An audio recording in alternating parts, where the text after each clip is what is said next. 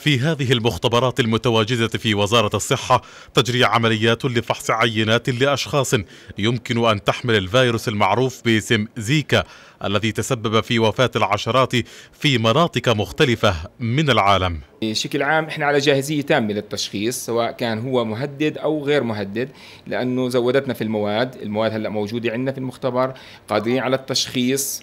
السريع طبعا بالطريقة اللي هو السريعة اللي بتأخذش أكثر من ثلاث ساعات لإعطاء النتيجة.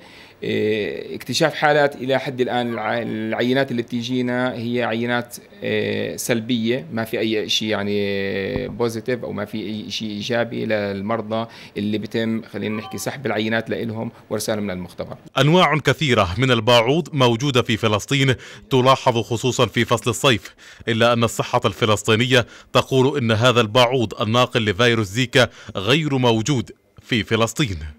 المرض لا ينتقل مباشرة من إنسان لإنسان يحتاج دائما إلى الوسيط. والوسيط هو نوع خاص من أنواع البعوض. هذا النوع من البعوض المفروض يكون متوفر بكميات كبيرة في منطقتنا في فلسطين حسب المعلومات اللي عندنا. النوع الخاص اللي بينقل هذا النوع من الفيروس مش متوفر مش موجود. بالتالي حتى لو حضر إنسان مصاب من تلك المناطق فلسطيني فيش خطر انتقاله لآخرين.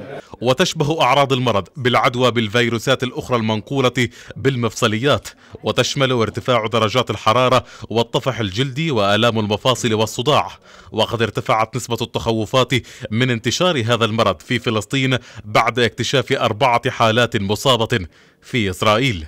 نحن قمنا بالكثير من الخطوات منها آه، آه، جاهزية المختبر الصحة العامة لعمل الفحوصات اللازمة للحالات التي يمكن أن تصلنا من الخارج وحيث كانوا يقيمون في مناطق آه، موجود فيها انتشار للفيروس. ولا يوجد حالات لغاية هذه اللحظة لا في إسرائيل ولا في فلسطين ولكن الحالات التي سجلت في إسرائيل هي حالات لأشخاص قد قدموا من مناطق موبوءة بالمرض.